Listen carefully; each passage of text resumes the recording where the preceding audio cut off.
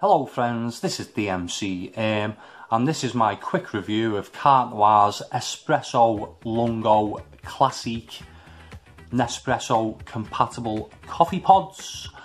And yeah on a recent visit to um, B&M I remembered that I'd tried the other um, coffee pods that they do, the ones in the pink box which are the Intense.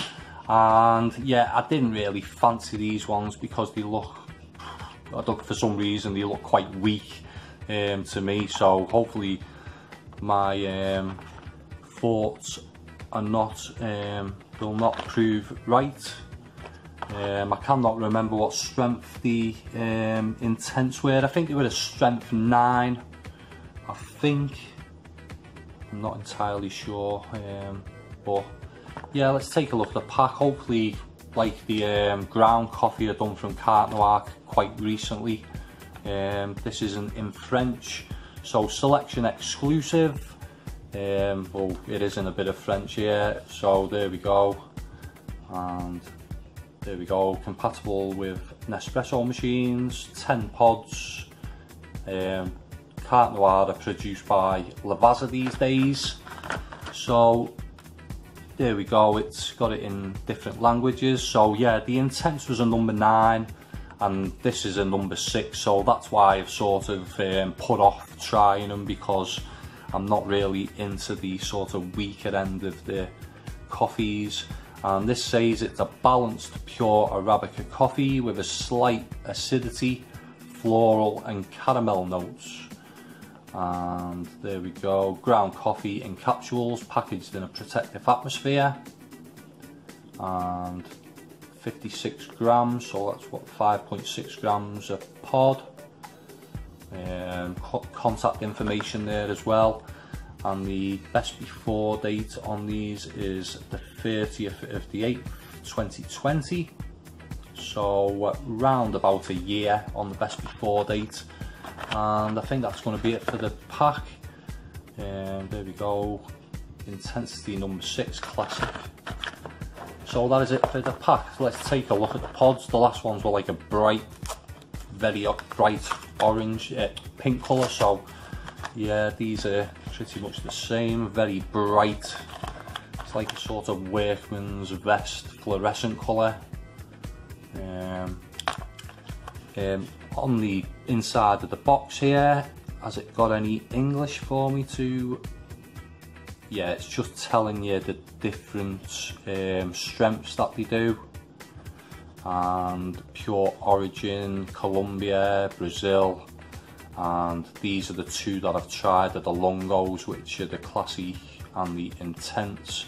So I haven't tried these pure origin yet either. And um, as I say just the couple of these ones so one two three four five of them that I haven't tried yet. Um, I don't think so. I'll have to get round to trying those at some point.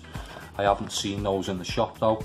So yeah plastic um, pods an interesting design. They're not, they're not just the typical um, pods. They've got a sort of interesting design to them foil top and bottoms. Let's see if we can get that to focus there. It just says Carte Noire Lungo and yeah the, the foil bottoms as well. So yeah what I'll be doing is I'll be trying these out over the next couple of days as I normally do and I'll come back with my more detailed thoughts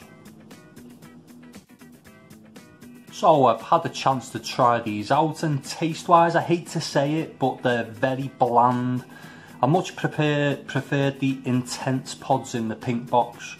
These are very slightly caramelly and they are quite sweet so I didn't need to add any sugar with these and they're slightly biscuity but I've drank nine of these pods before doing this review trying to squeeze every last bit of my tasting ability to try and get something from this coffee.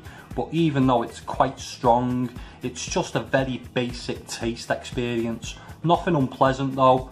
And they are decent quality but just very boring in flavour and instantly for forgettable So my advice is, unless you like a weak coffee, give these a miss and try the intense pods instead, or give them both a miss really, and try maybe say Asda's pods, which I sort of rate um, quite highly compared to other supermarkets.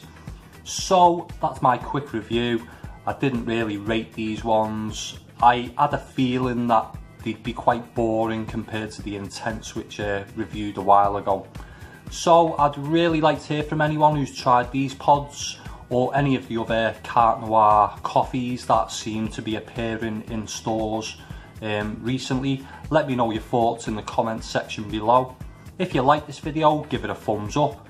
And if you want to see more coffee re reviews in the future and you're not subscribed, please do so. That was my quick review. Thanks for watching. Bye for now.